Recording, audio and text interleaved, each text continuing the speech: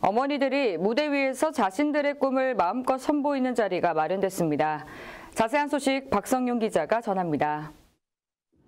우리나라의 주역 어머니들과 함께하는 축제의 장이 열렸습니다.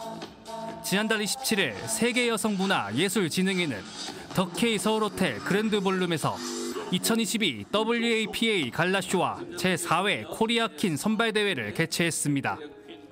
이날 행사는 어머니들의 사회적 봉사활동 기회를 제공하고 이웃에 대한 관심과 사랑을 실천함으로써 우리나라의 국가 발전 책임과 사명을 다하는 데 힘을 보태고자 기획됐습니다.